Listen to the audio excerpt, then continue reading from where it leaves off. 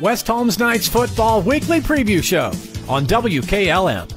This week's Knights Football Weekly Preview Show brought to you by Village Motors in Millersburg. I'm Matt Croy alongside Mike Kinsey, and West Holmes a season opening home win over Triway by the score of 41 to 7. And Mike, the junior quarterback Morgan Smith wasting no time getting on track. First play for line of scrimmage, a 75 yard touchdown pass to wide receiver Kyle Multrich. Oh, it was sure exciting. You know, we anticipated for this to happen this year, and uh, it sure enough did. You know, it happened maybe a little bit sooner than I had anticipated, and and then Kyle went down on you know the next series, and uh, I just wanted to say something for the family of the Maltriches that they wanted me to thank the the Knight Nation uh, for all the response and calling to see how he's doing, and even the area coaches, and that's one thing nice we have here, Matt. Is you know we talk a lot. We're a, a close knit family, or a, or a neighborhood, and uh, everybody comes together in the need. So uh, thanks to everybody for the Maltriches. No doubt about that. So it's an entire community certainly uh, that are concerned about Kyle, and certainly hope that he's going to be all right. And you look at the team here, made that adjustment, give credit to them,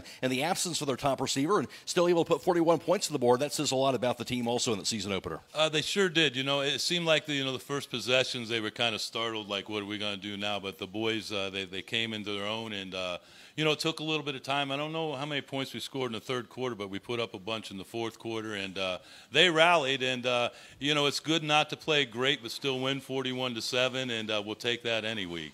And how about the defense allowing just the one touchdown late in the first quarter? Elijah Williams, Dixon, Jack Marmot each got sacks in that second half.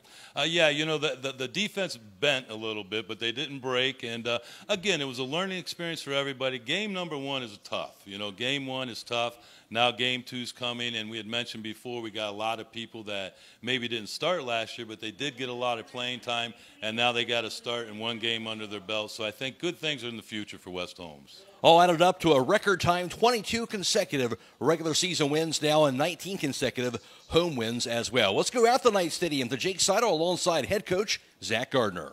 Thanks, Matt. I'm here with head coach Zach Gardner. Coach, a big win over Triway cemented your team in the record books uh, with the 1981 to 1983 team, 22 straight regular season victories. What can you tell us about the hard work your teams over the years have put in to get to that mark? Yeah, you know what I mean. It's a testament to, to what a lot of people have put into this program, and it's not just it's not just players, it's not just coaches. It's a, it's our community, it's our administration, it's our school, it's our parents. You know, it's it's the alumni, uh, the that have been here. You know, a whole a heck of a lot of people have put a whole heck of a lot into this, and it's uh, it's really special to, to, to see things like that, especially you know uh, you know being up there with with the, the upper uh, echelon teams that have played in, in West Holmes football history. You know, that's just something that we're going to wear as, as a badge of honor.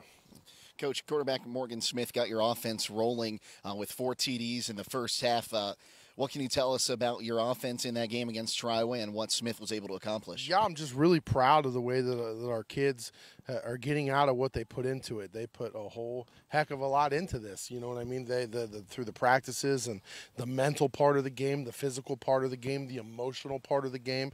You know, they put everything they have into this, and you definitely can see um, the, the, the results uh, showing. You know, for, for our team, and it, it, was exciting. You know, to to go out with uh, you know a bunch of bunch of new players in new spots and go have 500 yards of offense and you know score 40 points again and have 21 first downs, and it's just testament to, to all of our kids, our skill players, our offensive line going out and executing the game plan.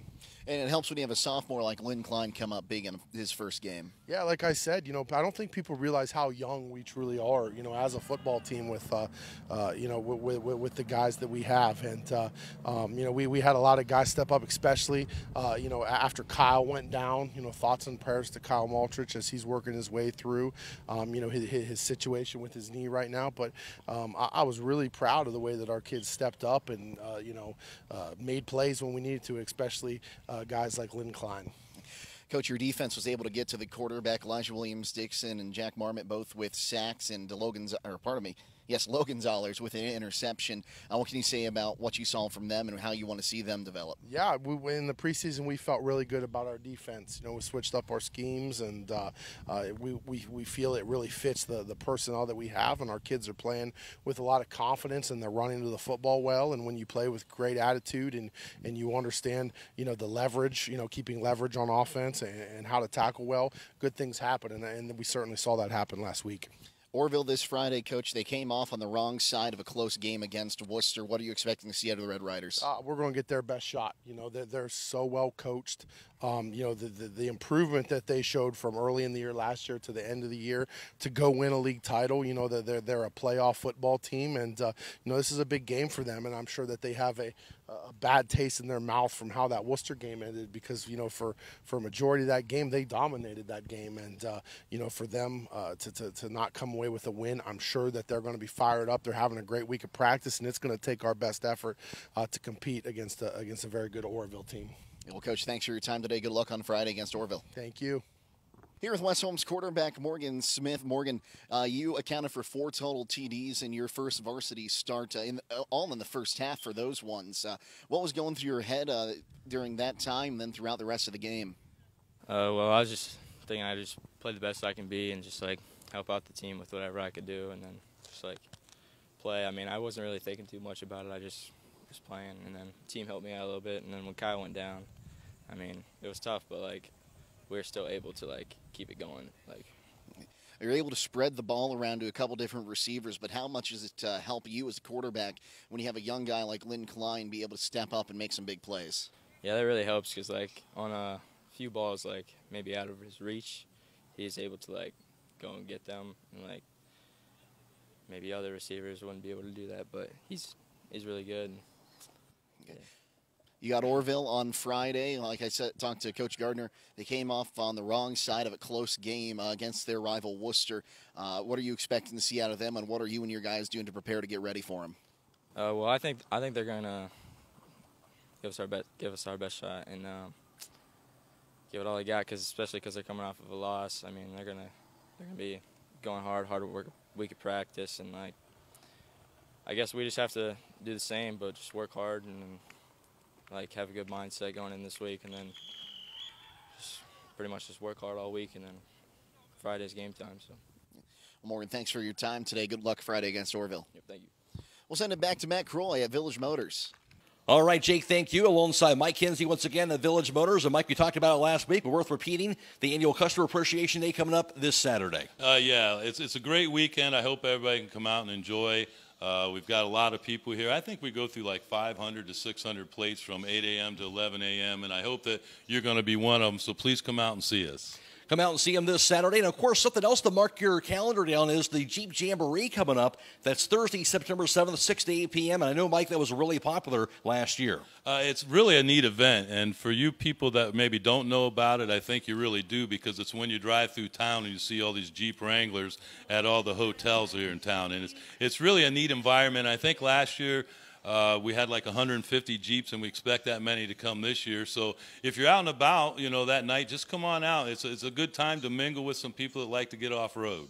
All right, that's Village Motors on Wooster Road in Millersburg or on the web, villagemotorsinc.com. But West will be back on their home field again in week two this Friday against the Orrville Red Riders. Of course, West Holmes has won in each of the last two meetings Orrville, Orrville, Orrville including their win last year on the road by the score of 51 14. West Holmes actually has won their last two meetings over Orrville 106 to 34 combined. So they've been dominant in these last two games here. But Orrville coming off their first winning season since 2019, going 6 and 5 last year. And of course, last week in their season opener, had a 17 point lead over Wooster before suffering that loss here. But but Orrville team that obviously has a lot of talent still, Mike, in their own right, led by quarterback Sawyer Hampshire and also wide receiver Greg Smiley. Well, you know, there, there's a young group that's been together for a couple years now, and I think they're about one year away. But I think next year, uh, they're going to be someone to, to, to tangle with. Um, like I said, they're getting some experience and some youth uh, that's getting experience. So I think we're a year away to it might be a good competition. Good matchup, though. They have these two on the schedule as we saw the last couple of years. Obviously, a former OCC team, and we know this has kind of been of a rivalry over the years. So nice to have Orrville taking on West Holmes once again. Uh, it sure is, you know. And, and if you want to be the best, you got to play the best. And good competition makes you strong. And and you're right, it is good to be have Orrville back. They were in my conference when I went to school many moons ago, but uh, they always have good sports. You know, West going to be on the road for a couple weeks after this, Mike. So important to kind of take care of business here on your home field before you go on the road. Well, like you mentioned earlier, 22 in a row, and hopefully we go for 23. So you come to the dungeon. It's a tough place to go away with a victory, and uh, and again, the, the Friday night, the, the place was packed. Uh, the environment was outstanding, and the weather was great. So hopefully, the same thing will happen this Friday. Make sure you're coming out this Friday to be part of that uh, the action on Friday in Knight Stadium. If you can't make it out, make sure you tune in on FM 95.3 and WKLMFM.com. Of course, we'll be video live streaming the game also on the WKLM YouTube page. That is in conjunction with Claxton Communications, so don't miss that. Our hometown football Friday night pregame show begins at 6 p.m. Kickoff is at 7 o'clock. For Mike Kinsey, I'm Matt Croy. Special thanks also to Jake Sidle, Zach Gardner, and Morgan Smith. And that's been this week's Knights Football Weekly Preview Show brought to you by Village Motors. Thank you for watching the West Holmes Knights Football Weekly Preview Show on WKLM.